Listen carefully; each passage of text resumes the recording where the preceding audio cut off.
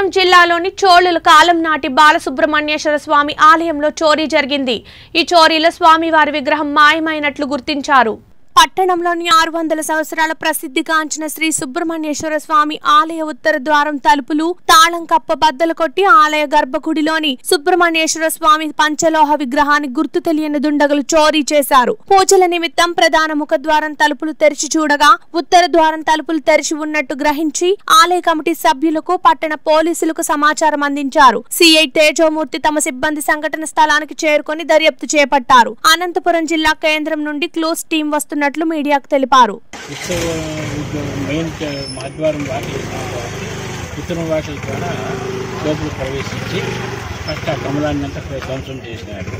ధ్వంసం చేసిన తర్వాత విగ్రహాన్ని నాగాభరణంలో పెట్టినటువంటి విగ్రహాన్ని మాత్రం తీసుకొని వెళ్ళిపోయినారు.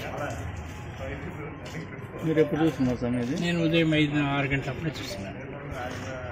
తర్వాత పోలీసులు సమాచారం. ఆ తర్వాత పోలీసు వాళ్ళ సమాచారము మా దేవస్థానం కమిటీ వాళ్ళ సమాచారం జరిగింది.